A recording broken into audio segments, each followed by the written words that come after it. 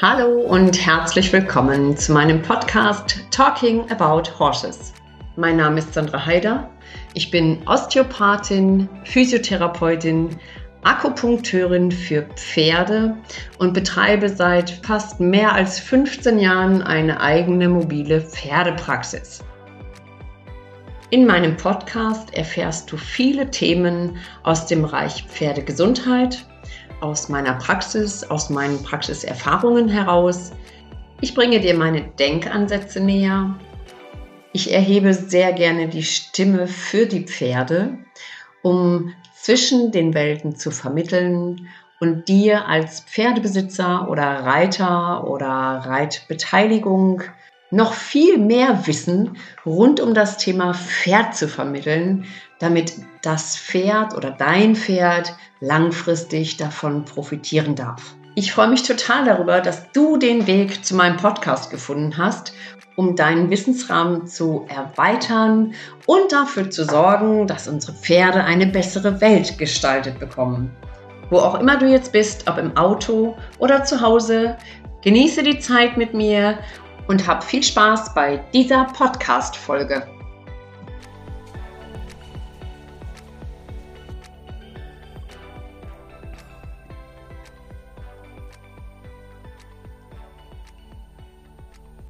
Hallo und herzlich willkommen zu einer neuen Podcast-Folge von mir. Heute möchte ich mal zwischendurch ein anderes Thema aufgreifen, da es für mich einfach so wichtig ist, und ich glaube, dass viele, viele, viele Leute, Reiter, Menschen, Pferdebesitzer überhaupt nicht wissen, was Stress mit dem Körper ihres Pferdes macht. Das ist nämlich das Thema, worüber ich sprechen möchte. Das habe ich schon seit Tagen ähm, im Kopf und habe gedacht, Mensch, da musst du doch nochmal näher drauf eingehen, weil sich Stress ganz, ganz vielfältig zeigt.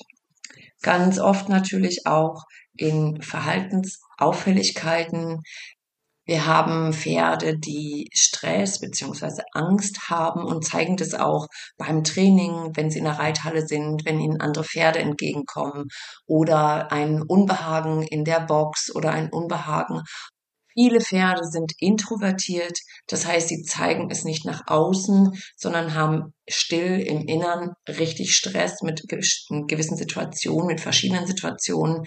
dann hast du natürlich die explosiven Pferde, die zeigen es im Außen, wenn sie Stress mit irgendwas haben. Das ist dann bis zu einem gewissen Punkt geht es noch und dann explodieren sie einfach, weil es zu viel ist. Und Stress ist so vielfältig. Wir haben Pferde, die koppen. Das ist eine Kompensation von Stress. Wir haben Pferde, die weben in der Box. Das ist auch eine Kompensation von Stress. Wir haben nicht umsonst so viele Pferde draußen, die an Magengeschwüren leiden, die Kotwasser haben und die muskulär einfach massivst angespannt sind. Das gehört halt alles zusammen. Und Stress machen zum Beispiel oder Schmerzen verursachen ebenso Stress. Deswegen ist es so wichtig, dass du dir dein Pferd immer wieder regelmäßig anguckst. Ich habe mir gedacht, ich habe ähm, auf dem Pferdegesundheitskongress einen großen Vortrag darüber gehalten, was Stress mit dem Körper deines Pferdes macht. Und da möchte ich jetzt ein bisschen tiefer darauf eingehen und dir so einige Teile daraus mal näher bringen in diesem Podcast. Wenn wir zurückgucken, was das Pferd im Ursprung ist, dann ist es nicht mehr das, wofür wir es heute nutzen. Das Pferd ist ein Fluchttier und das steckt immer noch im Pferd. Das Pferd muss in der Lage sein, innerhalb von Millisekunden von jetzt auf gleich in die Flucht gehen zu können.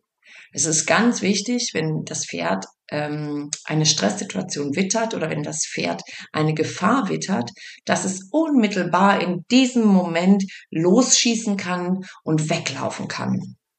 Was genau setzt den Körper deines Pferdes in Alarmbereitschaft? Das äh, geschieht über die Sinneswahrnehmungen aus der Umwelt, zum Beispiel über das Hören oder über das Sehen oder natürlich auch über das Riechen. Sie haben ein sehr, sehr, sehr gut ausgebildeten Geruchssinn im Gegensatz zu uns Menschen und können wirklich im Vorfeld, also da hast du noch gar nicht den Ansatz gefunden, dass irgendwie eine Gefahr droht, dann hat das Pferd es aber schon verstanden. Diese Sinnesreize werden über verschiedene Stationen bearbeitet. Eine Region davon ist natürlich das Gehirn. Die Reizweiterleitung erfolgt an den sogenannten Mandelkern, das ist die Amygdala. Und die Amygdala ist eine bestimmte Region im Gehirn, wo auch das Angstzentrum sitzt.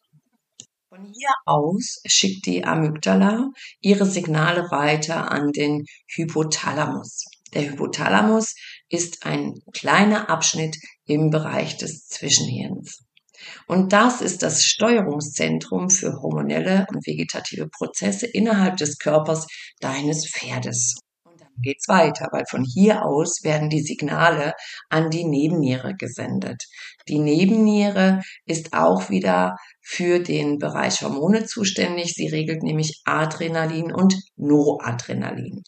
Und je nachdem in einer Stresssituation werden diese Hormone ausgeschüttet und über die Blut oder über das Blutsystem, über die Blutbahnen in den Körper geleitet.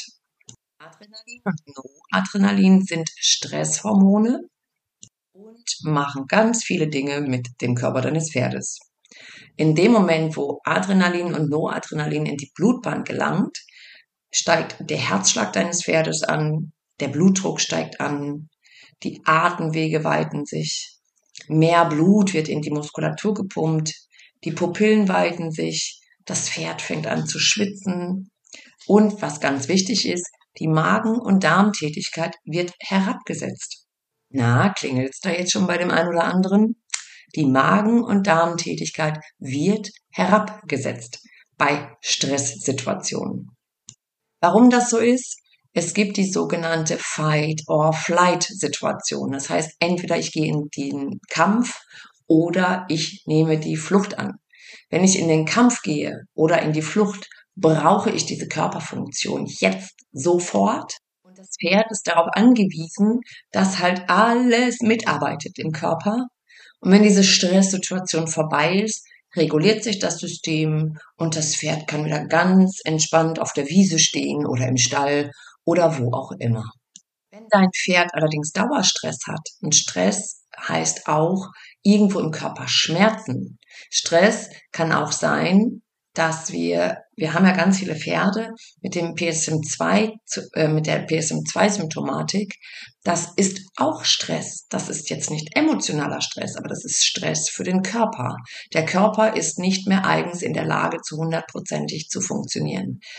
Schmerzen, ganz schlimm. Ja, alle, die Schmerzpatienten kennen oder im, im menschlichen Bereich, im menschlichen Miteinanderbereich, ähm, jemanden haben, der dauerhaft Schmerzen hat, der dauerhaft zum Beispiel Rückenschmerzen hat oder sowas.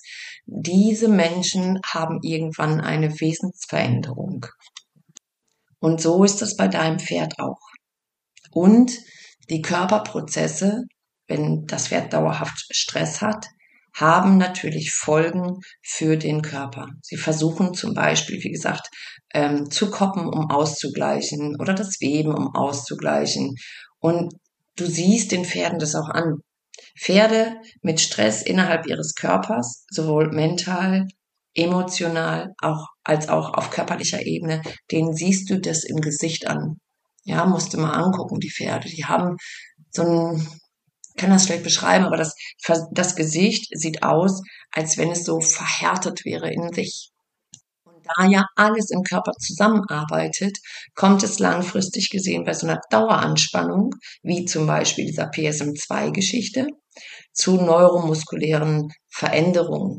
Die neuromuskuläre Struktur verändert sich. Das heißt neurologisch, also alles, was mit Nerven, Nervenreiz, Weiterleitung, Nervenbahnen zu tun hat, aber auch der muskuläre Zustand und natürlich auch das fasziale Gewebe. Es verändert sich alles. Das wird fest, das wird, ähm, ja, fühlt sich total gespannt innerhalb des Körpers an und somit verändern sich auch Bewegungsabläufe und dein Pferd gerät öfters in den Bereich, dass es Blockaden hat. Es ist halt nicht mehr dynamisch. Der ganze Körper funktioniert halt nicht mehr so, wie er funktionieren sollte wir schon gelernt haben in anderen Podcasts von mir, dass das eine sich durch das andere bedingt, ist es natürlich auch so, wenn das neurologische System überbelastet ist, in Anführungsstrichen, durch diesen Dauerstress, auch natürlich irgendwann das fasziale System hinterherkommt. Und das fasziale System, die Faszien, umschließen ja alle Organe. So ist es langfristig gesehen auch so, dass wir im Bereich des gesamten Organsystems, also die Verdauung, die Atmung, die Ausscheidungsorgane und auch alle Stoffwechselprobleme oder Stoffwechselprozesse innerhalb des Körpers geschädigt haben. Also es hat immer auch Folgeschäden, die es mit sich bringt, wenn dein Pferd dauerhaft im Stress ist. Stressauslöser können sein, wie gesagt, Schmerzen, dauerhafte Schmerzen. Es kann aber auch sein, dass dein Pferd mit seinem Boxennachbarn nicht klarkommt. Es kann aber auch sein, dass dein Pferd im Offenstall ist und gar nicht mit dieser Offenstallsituation klarkommt, weil das Pferd nicht zur Ruhe findet. Es kann sein, dass dein Pferd Stress hat, weil es total überbelastet ist. Jedes Wochenende aufs Turnier, immer wieder Hochleistungen, vielleicht ähm, keine Ahnung, bist du ein sehr hektisch, stressiger Mensch und verlangst einfach viel zu viel von deinem Pferd. Überforderung kann Stress sein. Unterforderung kann auch Stress sein. Also es gibt so viele äh, Parameter, die bei deinem Pferd Stress auslösen. Ja, wichtig ist, dass du dir dein Pferd anguckst und es mal anschaust und es auf dich wirken lässt. Gewalteinwirkung haben wir immer noch. Ja, dass Menschen nicht nett mit Pferden umgehen. Das macht emotionalen Stress, das macht aber auch auf körperlicher Ebene Stress. Ja, dann haben wir das ähm, zu früh absetzen. Ganz viele Themen, auch über das Emotional Releasing, habe ich, die durch das zu frühe, zu schnelle Absetzen kommen. Geburtstraumata. Ja, wenn ein Pferd zu schnell oder ein Fohlen zu schnell auf die Welt kommt oder wenn der Geburtsprozess sehr lange gedauert hat. Das ist Stress für den Körper.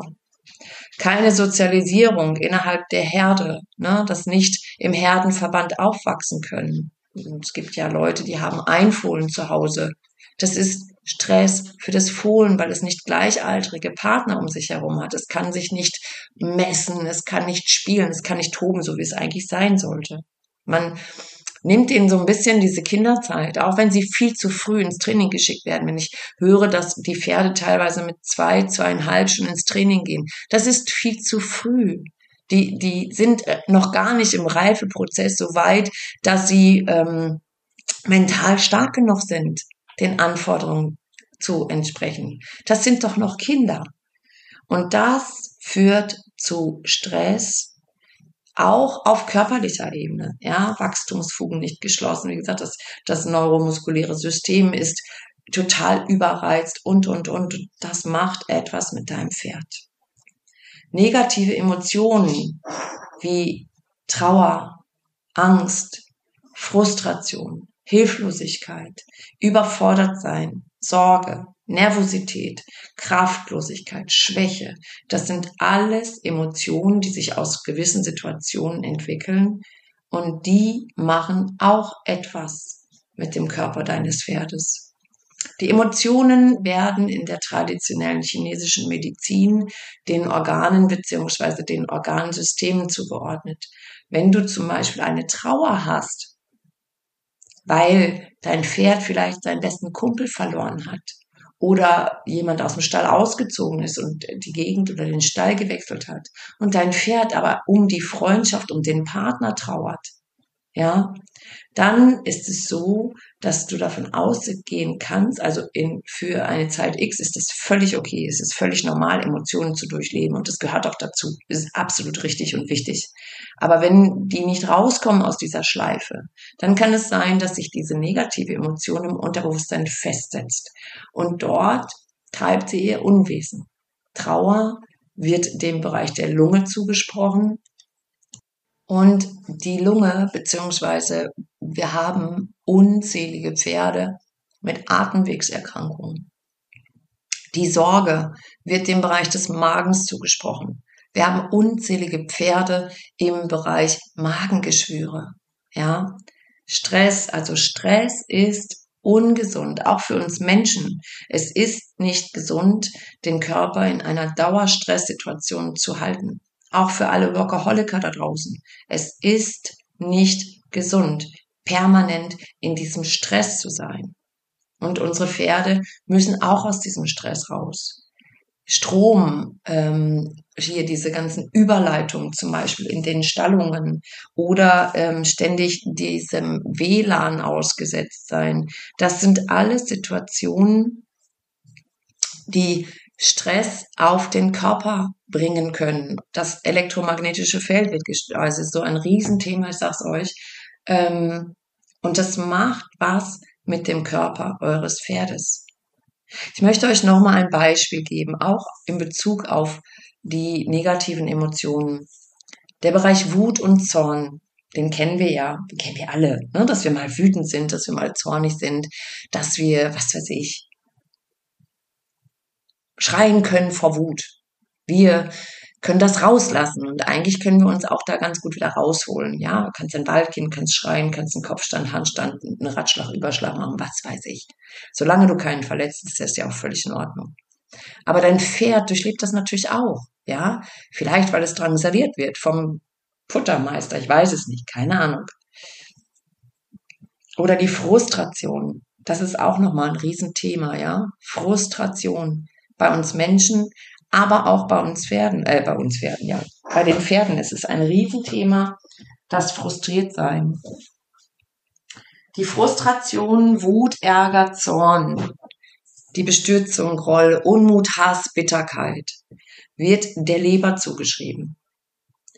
Die Leber, wenn sie in einer Dauerüberbelastung ist durch diese negativen Emotionen oder, oder durch ähm, schlechte Fütterung, zum Beispiel, oder durch Dinge wie Medikamente oder, oder, oder, keine Ahnung, sie ist halt überbelastet, kann das den, also kann das den Bereich der Muskeln, Sehnen, Bänder, Augen und Hufe stören. Das heißt, die Leber ist dafür zuständig, dass diese Bereiche funktionieren. Und wenn die Leber überbelastet ist, kann sie nicht dafür sorgen, dass die Bereiche vernünftig arbeiten. Ja? Hufe. Wie viele Pferde haben wir mit Hufproblemen? Die Leber ist ein Stoffwechselorgan und wir haben so viele Pferde mit Stoffwechselstörungen draußen. Also das muss man einfach mal zusammenpacken, glaube ich. Und das muss man einfach mal, ja, vielleicht auch sacken lassen in diesem Moment. Nehmen wir mal die Niere. Die Niere steht für den Bereich Angst. Die Niere ist bei den Pferden im Lendenwirbelbereich.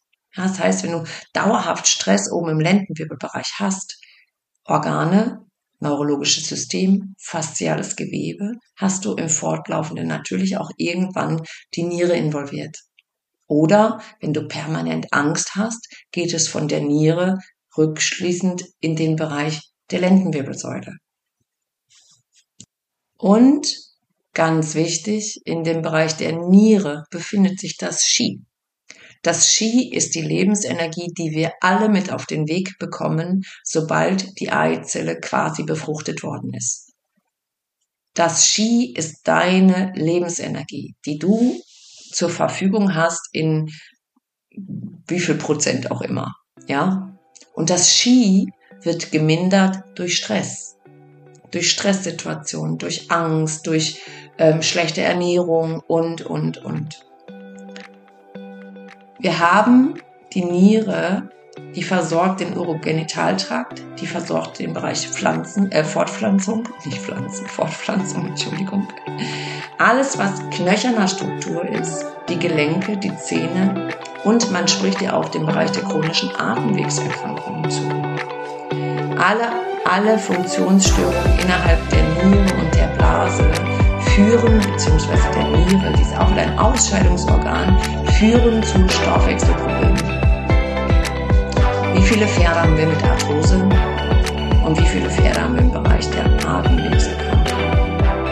Also ich finde, das muss man sich auch echt mal, äh, oder dessen muss man sich einfach mal bewusst werden.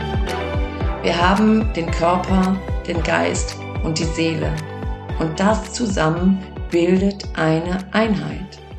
Und wenn du Dauerstress hast, so wie zum Beispiel dauerhaft Angst oder der Körper wird dauerhaft in Angst gebracht, dadurch, dass man nicht vernünftig mit deinem oder mit dem Pferd umgeht, weil es irgendwie, keine Ahnung, auch im Herdenverband Angst hat vor irgendwem, im Herdenchef oder was weiß ich was. Also es muss ja nicht immer Mensch zum Tier sein.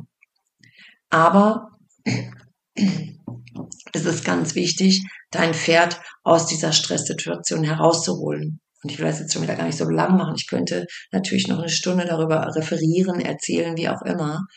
Wichtig ist zu erkennen, dass dein Pferd Stress hat.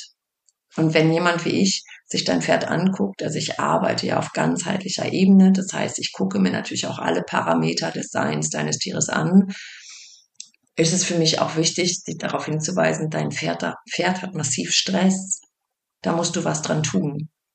Weil nur dann kannst du auch Höchstleistung von deinem Pferd erbringen. Und wie gesagt, die körperlichen Symptome lassen ganz oft nach, wenn man das Pferd aus so einer Dauerstressschleife herausholt. In diesem Sinne, wenn du Fragen zu dem Thema hast, darfst du mich sehr gerne ansprechen. Also ich arbeite ja über das Emotional Leasing, das ist diese ähm, negative Emotionen aus dem Unterbewusstsein lösen, um die Selbstheilungskräfte des Körpers deines Pferdes zu aktivieren, auch für Menschen, wenn die Frage mal hier im Raum steht, ja, für beides. Oftmals ist es auch wichtig, beide Parameter zu machen oder beides, beides zu machen, also den Menschen und sein Pferd, weil ganz oft auch die Dinge übertragen werden. In diesem Sinne, fragt mich gerne, sprecht mich an. Wenn es euch interessiert, dann gebe ich euch gerne Rückmeldungen zu diesem Thema. Ansonsten würde ich jetzt mal abschließend schon wieder 20 Minuten geredet, aber so ist es halt. Ich wünsche euch einen schönen Tag, lasst es euch gut gehen. Bis ganz bald, eure Sandra.